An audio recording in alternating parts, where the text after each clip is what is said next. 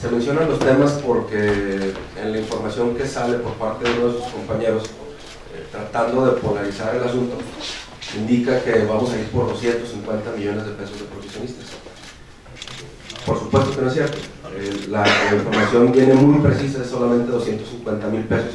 Entiendo que lo, que quisieron sacar en ese momento por tratar de desviar un poco la atención por las casi 6.000 familias que se van a quedar sin la atención de estancias infantiles en el estado de Chihuahua.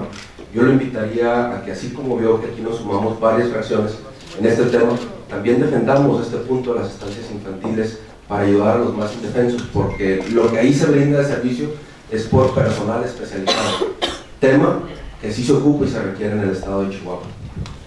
Gracias, diputado. Diputado.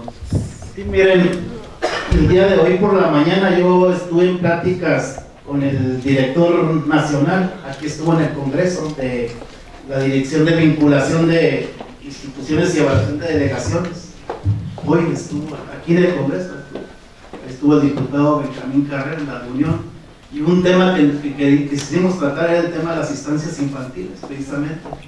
Nada más por darles un dato.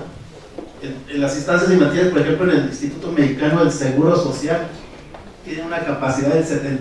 O dentro de su capacidad no, no, tiene un sobrante de un 25%, un sobrante. O sea, que bien pudiera cubrir el tema de las instancias infantiles.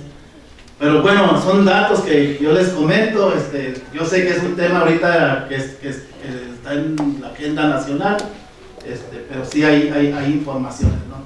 Eh, nosotros incluso hablamos del tema del presupuesto también, porque también se ha dicho que los dos hospitales de Ciudad Juárez no se van a construir. Claro que se van a terminar de construir, claro que se van a equipar. Entonces es un tema también. El tema del presupuesto federal es un tema que hemos estado platicando. Yo he estado en reuniones este, conjuntamente con la federación, donde ha estado el gobierno del estado. Entonces es un tema que vamos avanzando y que posiblemente vayamos a obtener mayores recursos para Chihuahua. Eh, diputados, nada más para centrar el tema, estábamos